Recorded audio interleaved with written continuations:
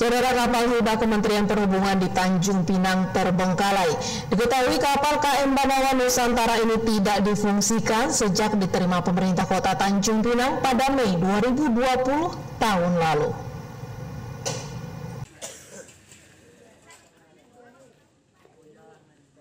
Seperti inilah dua unit kapal hibah dari Kementerian Perhubungan Republik Indonesia. Kapal itu terpampang di bengkel kapal Kampung Bulang atau tepat di depan dermaga Pelabuhan Tanjung Unggat, Tanjung Pinang.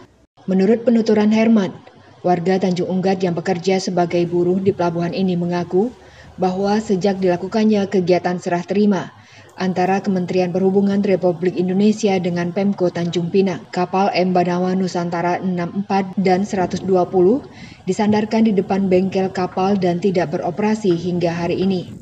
Pria usia 50 tahun ini pun menilai bahwa seharusnya kapal itu dapat dimanfaatkan untuk kepentingan masyarakat.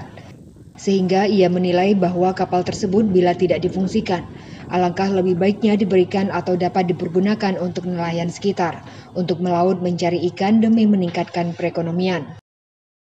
Uh, Bapak tahu nggak kapal itu uh, sejak kapan itu terbengkak di situ terletak, Pak?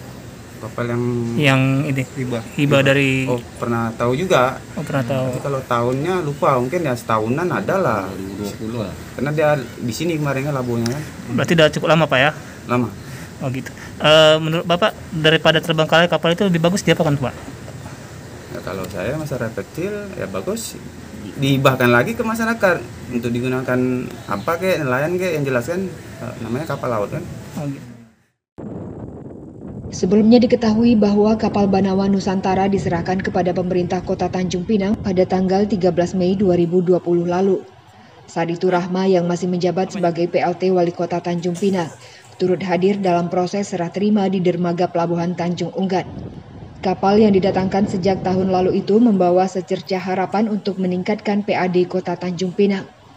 Namun sayang, harapan itu nampaknya pupus mengingat kapal itu masih terpampang di perairan Tanjung Unggat hingga hari ini. Saat awak media Tanjung Pinang TV mencoba melakukan konfirmasi kepada Dinas Perhubungan Kota Tanjung Pinang, justru pihak Dishub melemparkannya kepada Dinas Pariwisata.